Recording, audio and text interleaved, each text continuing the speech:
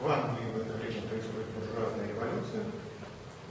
Что это означает? Это означает, что народ грозит королю Карлу его свергнуть. Парламент меняет монополию монополизм изгоняет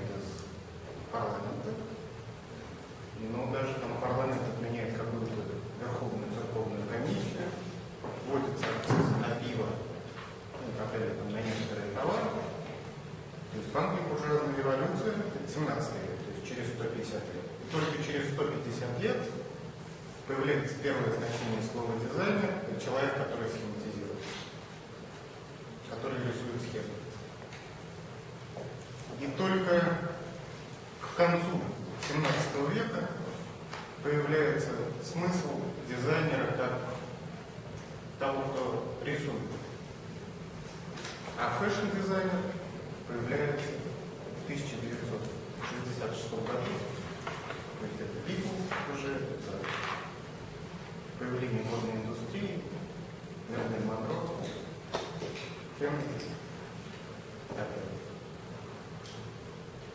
Я хотел вернуться вот к этому значению, то есть человек, который рисует схему, потому что я пришел поговорить о схеме.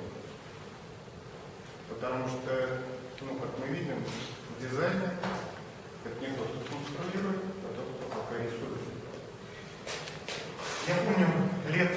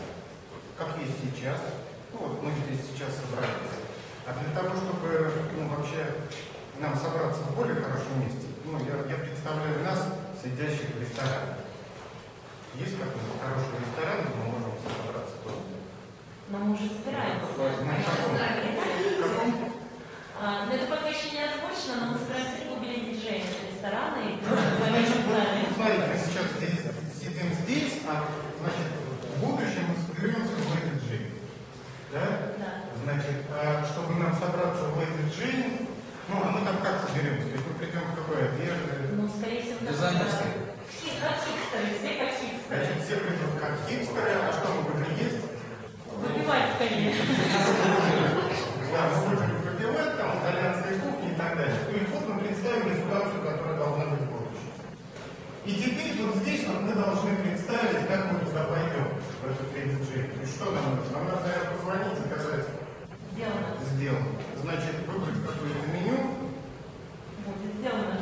значит, сказать надо всем, что мы должны прийти в типа, Будет. Значит, а что еще надо? Прийти. А, предупредить, наверное, надо, да? Мы можем всех так предупредить, мы можем всех предупредить, ну, чтобы всех взяли деньги, значит, всем надо рассказать это, то есть мы можем как вот рассказать, можем послать всем смс, правда, видите, у нас На Фейсбуке. всем один телефон, можно в Фейсбуке разместить и так далее. То есть понятно, что вот этот переход, он нужен, нужно его делать. То есть я сегодня встречался с, со своим товарищем, с кем я занимаюсь там, бизнесом, и я понял, что мы вот обязательно должны проговорить ситуацию, которая есть у бизнесе сейчас. Потому что то, о чем мы говорим, какая ситуация должна быть в будущем, она очень сильно отличается от того, что есть сейчас. И то, как мы туда пойдем, нам надо будет прописывать достаточно жестко, точно так же в схему. Но в эту схему мы должны вот сюда что-то написать. То есть какое-то содержание.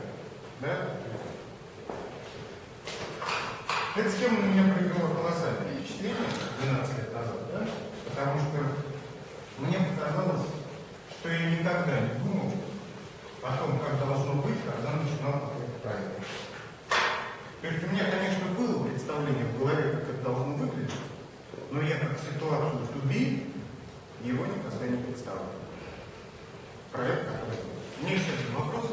Вы здесь разделите по группам, у каждой группы уже есть какой-то проект есть у вас совместного проекта вдруг нет. Следующая схема, которая на меня произвела огромное впечатление, я не знаю, кто я автор, это такой тетраэдр. Значит, вот на этом тетраэдре была такая цель нарисована, а здесь на трех углах были партнеры, клиенты и сотрудники. И автор этой схемы хотел ей сказать, что когда у вас есть цель, то вы ее, ее добиваетесь тремя сообществами. Сообществом своих сотрудников, сообществом своих клиентов и сообществом своих партнеров. Ну такой достаточно глубокий смысл, потому что если там возвращаться ко всяким... А вот где в тетради? Цель? М? Цель? Я? Я в проекте был. Есть цель, есть партнеры, клиенты. Не, ну я, я задумал. То есть это вот мое, мое предприятие. Я в эту цель вписал какие-то свои задачи, то есть то, что я хочу сделать. Хороший вопрос. Вы, наверное, внутри. А? Внутри. Нет, я снаружи. Я вот здесь. Тогда поднимитесь вот туда. А? Ну, точно. Нет, ну серьезно. То есть это вот мой проект. И я вот так вот о нем думаю. Извне. То есть я знаю, какая у меня цель, я знаю, кто мои партнеры, если я знаю, знаю, кто мои клиенты, и вот я со своими сотрудниками. Ну, Такая тоже достаточно простая схема. Я ее много раз использовал, потому что разграничить, где клиент, а где партнеры, это достаточно важно для бизнеса. Потому что кажется, ну все же партнеры, или наоборот, все вообще со всеми будем вести себя как с сотрудниками. Чтобы все вовремя приходили на работу, кому мы продаем и так далее. Значит, я стираю, потому что это не имеет никакого отношения к тому, о чем я говорю. Рассказывать я буду вам о схеме акта деятельности,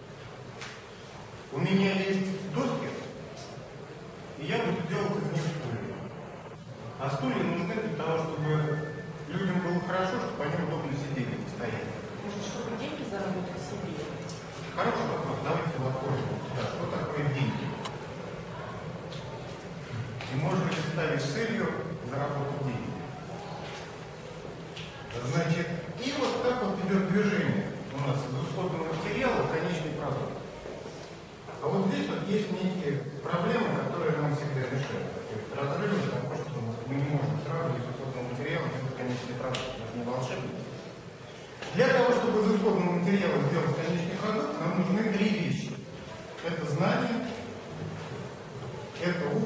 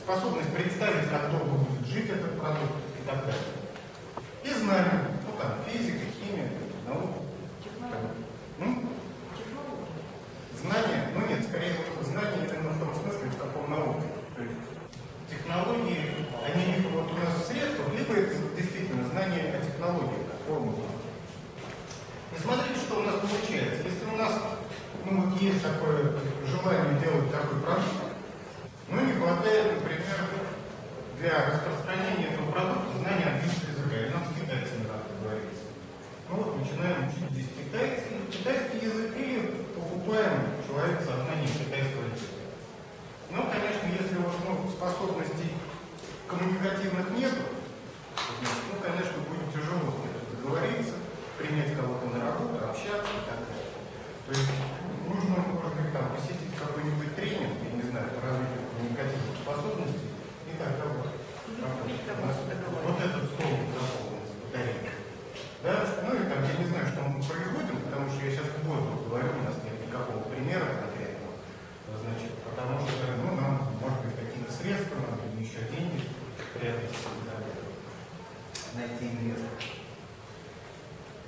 Я, в общем, рассказываю всегда, что это очень простая схема. То есть это схема о том, как кто-нибудь поехал в Турцию, купил там шубу, продал шубу. И так, в общем, можно жить всю жизнь. Ну, потом каких-то способностей не хватает, так, посмотреть со стороны. А, еще вопрос был деньги, да? А значит, деньги – это индикатор того, Работает вообще вся эта схема или нет?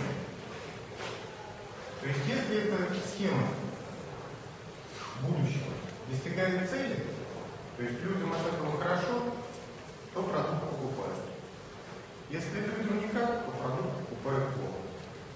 Это пример того, как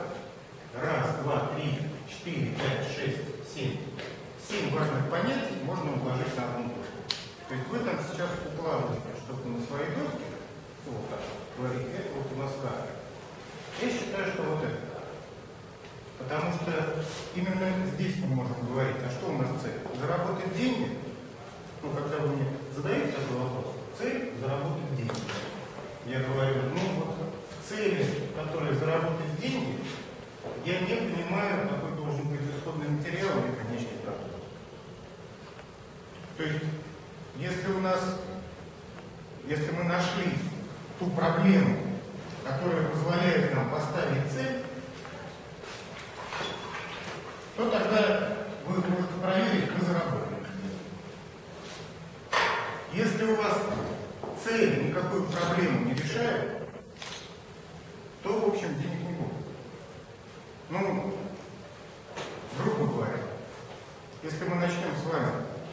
чтобы заработать денег, производить розовых слонов то мы больших денег не заработаем, ну, в моем понимании, потому что я не понимаю, какую проблему решают розовые слоны.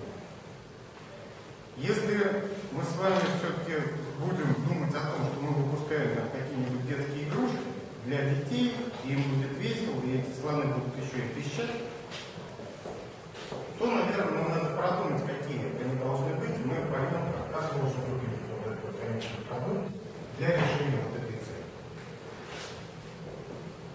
Ну, я говорю много, мне, в общем, достаточно тяжело, Э, я не вижу обратной реакции, я не понимаю. А если эта схема деньги ради денег, то электронной биржи? М? Электронной биржи, то есть там покупают акции, чтобы засекать разницу. Ну, я, я, не- я не готов вообще об этом говорить. То есть, ну, наверное, можно представить себе, что ну, если мы поставим цель заработать деньги, то мы играем на бирже. Но на самом деле, я вам скажу, что в этом примере, который вы привели, есть цель у биржи сделать нашу жизнь легче. И вы участвуете в качестве средства А, понятно. В их проекте, в качестве партнера, но в качестве средства. Вы являетесь инструментом достижения их цели. Ну, там можно спорить о том, где там исходный материал, где конечный продукт, но это их проект. Это не ваш проект. И ну, для меня вот всегда большой вопрос. Я участвую в своем проекте, я придумал будущее. Или я участвую в качестве инструмента в чьем-то будущем. А на что это влияет? Ну все. На позицию. Это влияет на позицию. В принципе, если вы участвуете в качестве инструмента, у вас гарантированная зарплата. То есть вам за то, что вы выступаете в качестве средства, вам платят деньги. Если вы придумали свой проект, то вы сами привлекаете ресурсы, сами можете менять исходный материал, сами регулируете свое время. Это гораздо интереснее, во всяком случае. Потому что свой большой проект со своей целью это то, что освобождает человека. Делает его Это же схема может быть рекурсивна. Будучи инструментом, я же могу поставить и свои. Конечно, конечно. Она, ну, вот, вот здесь вот у каждого такая схема может быть. Все правильно. Значит, хотел вам еще рассказать, потому что у нас была дискуссия с э, Марией о целях и задачах, как разделять цели и задачи. Значит, интересно, что задача в английском языке слова task произошло от английского слова, вернее, является родственником с английским словом text налог. То есть задача это то, что вот ты как вот налог вот так вот должен сделать. То есть так вот прям как отдать. Ну, в русском языке задача это то, что задано. Ну и должно быть сделано. С целью очень интересно. Первый раз значение вот в том, в котором мы употребляем, одно из самых древних слов это слово бат английское.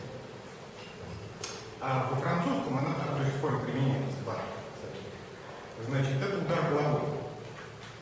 То есть, по сути дела, где-то до 13 века человек и не ставил себе никаких целей. А выше? А выше? Но он это не говорил, что это у меня цель. Это интуитивно. То есть,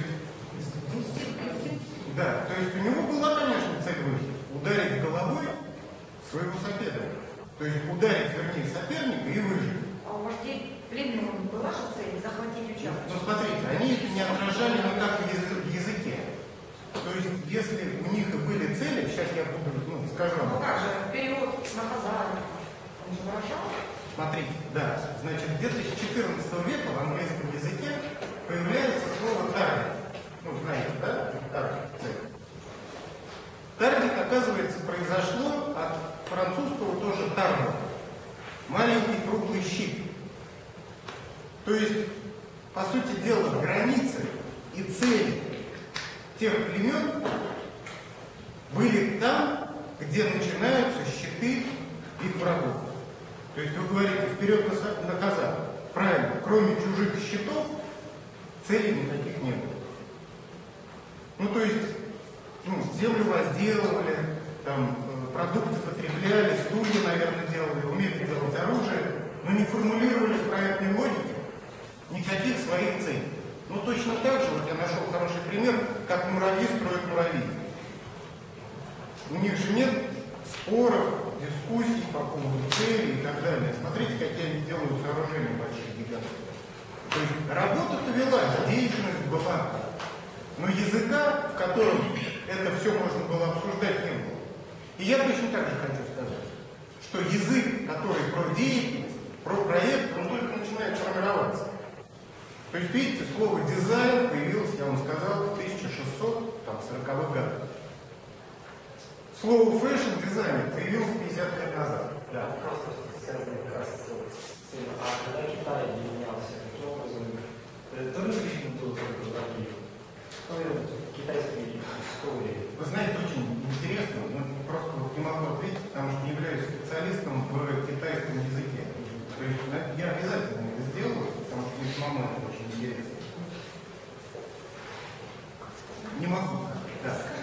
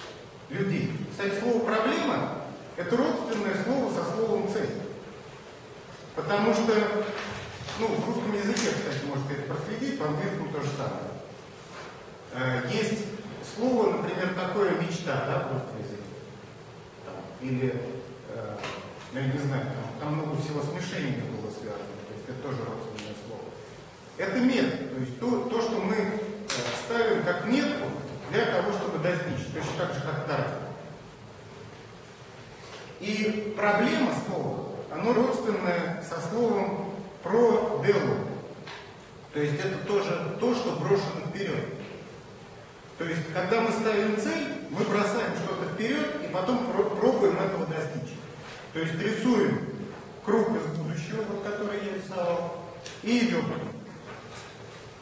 Так, собственно, слово «проблема» является родственной стороной или обратной стороной цели.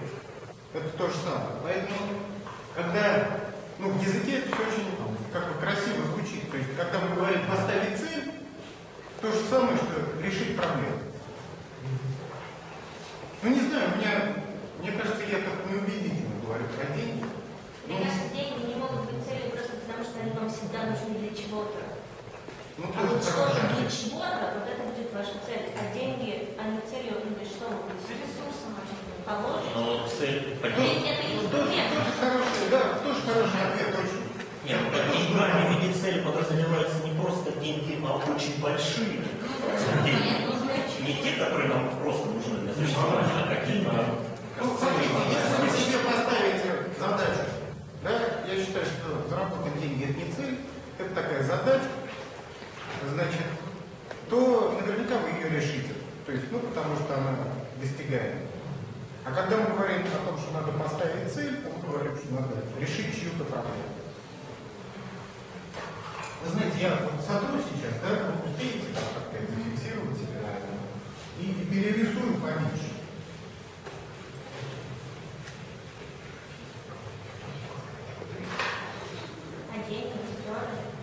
Пускай будет.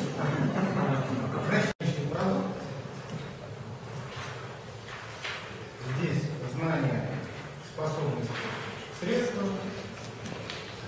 цель.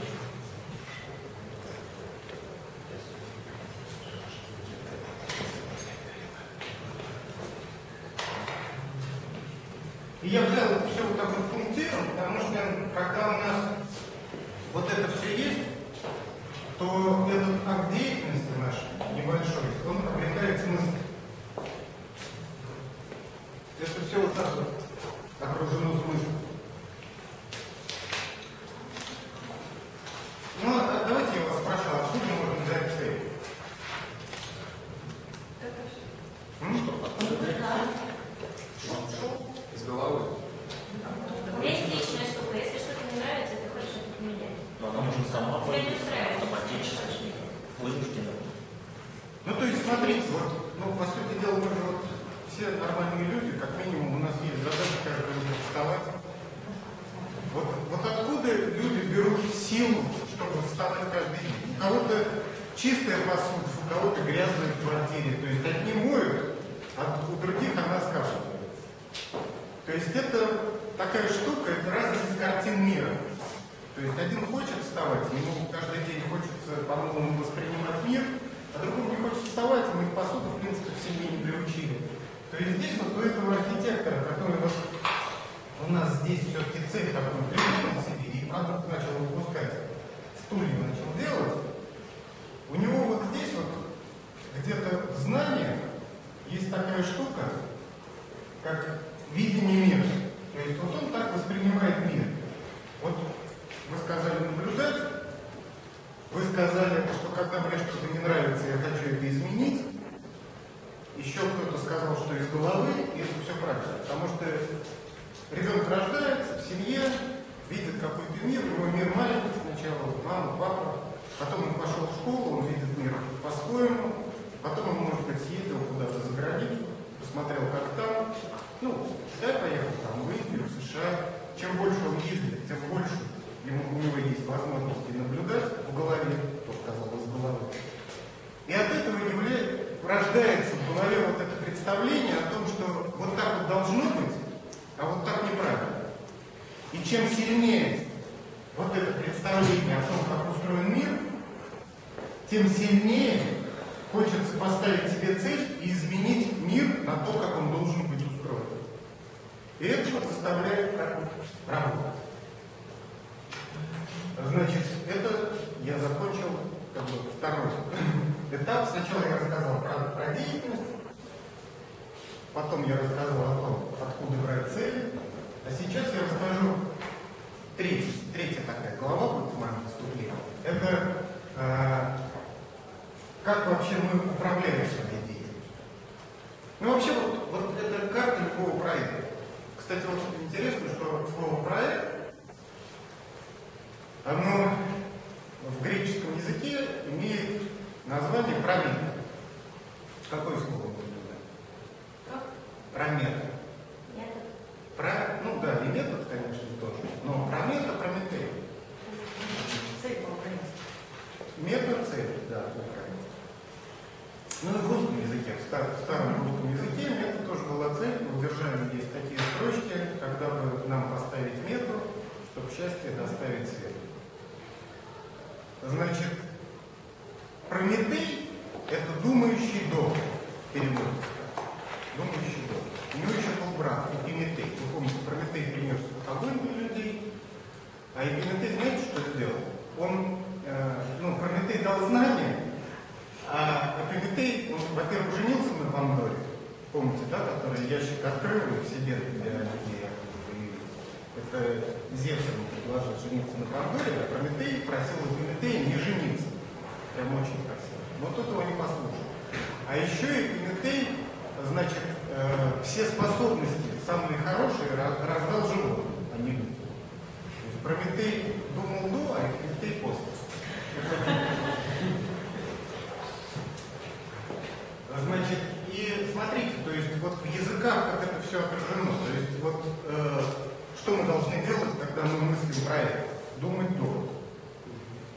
Ставить, ну, про, про мет, да? То есть, думаю, кто. Ставить себе мет мы должны. Мечту. Я говорю, что вы относитесь к этому как к проекту. Значит, а дальше в методологическом сообществе, в Московском методологическом кружке была разработана такая вот техническая схема. И этим, кстати, э, вот те открытия, которые сделаны в Московском методологическом кружке относительно управления деятельности, отличаются от других западных менеджеральных теорий. Московский методологический кружок вводит вот здесь вот такой называемый, так называемый рефлексивный слой. Что такое рефлексия? Самоанализ. Она, анализ определенной деятельности. Ну, то есть это отражение деятельности. Ну, в смысле, отражение. Рефлексия, reflection, отражение.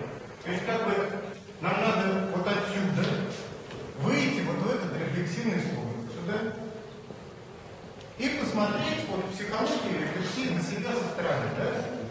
А здесь мы посмотреть на свою деятельность со стороны. Вот так, мы сюда выходим. Вот этот вот чувак у нас был архитектор. И он вот так вот вышел и теперь смотрит, а что я тут вообще напрягу? Он архитектор какой? Ну, можем про дома говорить. То есть он домница. Дальше. Значит, ему надо на этот проект, если, ну, это я там свой дом нарисовал, мне надо, наверное, деньги найти, да? То есть я начинаю мыслить как инвестор. Вот здесь я позицию инвестора. Значит, хорошо. Э, Теперь я деньги как бы приготовил, посчитал, мне нужен прораб. Да? Я говорю, административный директор. Такой, это вот у нас был архитектор, этот вот инвестор, этот вот прораб у нас административный директор, ему строить надо строителей на них, ну вот здесь вот всеми средствами занимается инструментами да, и так далее. Значит, потом я вообще должен стать на позицию потребителя, согласовать там, знаете, там, с женой, с детьми, как там у меня все будет устроено. Нарисовать я рисовал. Но мне нужен взгляд потребителя, потому что если у меня родственник метров 80, то мне, наверное, надо там, нет, лучше 2,10, то мне, наверное, надо повыше там, сделать проем дверным и так далее. То есть, ну, как-то вот с точки зрения будущего потребителя посмотреть на, все, на, на весь свой проект. Потребитель, да? А потом еще, знаете, такие штуки бывают, вот когда строишь. То есть тут вот открыли какой-нибудь новый пенобетон дешевле. Или там материалы какие-то еще новые появились. Или краски. То есть я вообще должен за этим за всем тоже как-то отслеживать. У меня появляется позиция, которую я называю без практики.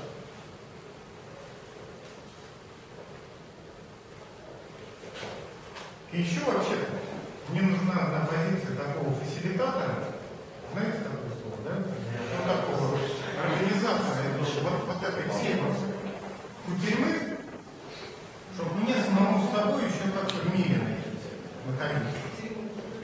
То есть не переругаться. Ну и вот эти вот все позиции, они вон на том, не знаю, как эта геометрическая фигура называется, раз, два, три, четыре, из восьми треугольники, да, шесть треугольников, да, а как это по, еще по умному.